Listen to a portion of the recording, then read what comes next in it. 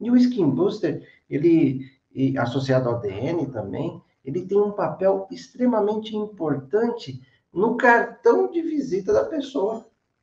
Como assim, isso? Me explica melhor.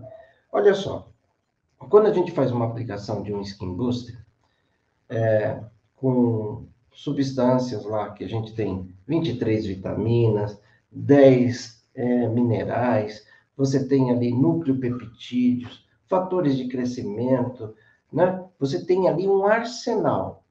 E quando você faz administração, você faz administração intradérmica. Você sabe por que, que você faz uma administração intradérmica? Né? Você sabe por que, que você faz uma administração intradérmica? Você sabe. Porque muitas vezes a pessoa fala assim: ah, mas faz diferença fazer uma aplicação intradérmica, fazer uma aplicação subcutânea, uma aplicação intramuscular? Faz diferença, Via? Claro que faz. Porque quando você faz uma aplicação intradérmica, você faz isso. Imagina que esse meu dedo aqui são as cinco camadas da epiderme. E essa camada de baixo é a derme, o tecido reticulado. Quando você vem com uma aplicação intradérmica, você aplica entre uma e outra. E uma aplicação intradérmica bem sucedida é aquela que forma a pápula. Por que, que forma a pápula?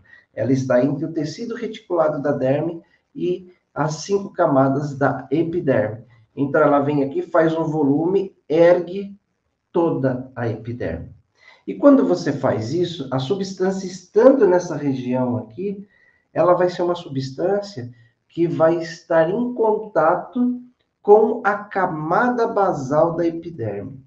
Tá bom, Nilson, entendi, sabia disso. Ela vai lá na camada basal. Mas agora, o que significa a gente ter a substância aqui? na camada basal da epiderme. A camada basal da epiderme, ela é a camada mais importante no sentido nutricional e também no, senti no sentido organizacional da epiderme. Porque a epiderme, você sabe, ela vai ter ali de quatro a cinco camadas. É claro que antes do extrato córneo tem uma camada aqui que chama-se camada lúcida, e nem sempre ela é observada, até mesmo em microscópio eletrônico, mas é, em muitas literaturas se apresenta essa camada aqui como uma quarta camada antes de chegar no extrato córneo.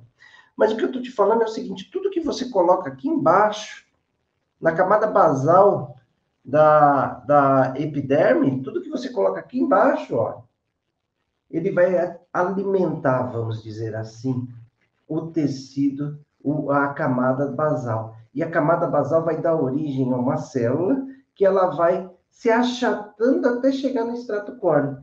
Então, o que, que acontece? Nessa situação, é, a qualidade da camada basal ela é fundamental, porque ela que vai mostrar para o meio externo a qualidade da sua pele, porque a camada basal vai produzir aí com todos os nutrientes eutróficos de um skin booster, ele vai produzir ali uma camada basal efetivamente mais é, é, bem nutrida e alimentada, consequentemente as demais camadas que foram originadas na camada basal vai apresentar, vai refletir uma pele mais saudável, uma pele mais bonita, uma pele jovial.